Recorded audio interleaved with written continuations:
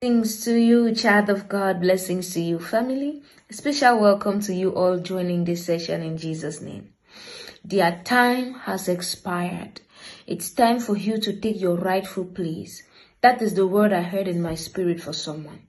God is saying that their time has expired. They have ruled over you, they have controlled, they have tormented, they have attacked for so long. Their time has expired.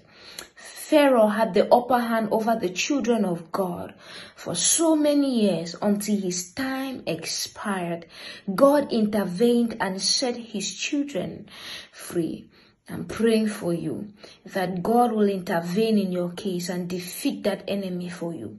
God is fighting your battle for you.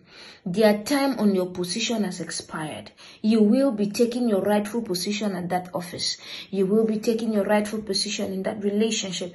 You will be taking your rightful position in that school. In the name of Jesus. Just like Esther and Vashti. When Vashti's time expired, it was time for Esther to ascend the throne. Their time has expired and it's time for you to shine.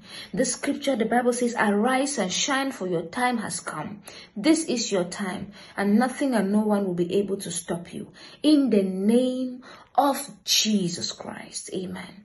Father, thank you for this word. Take the glory and the praise for everything that you're doing.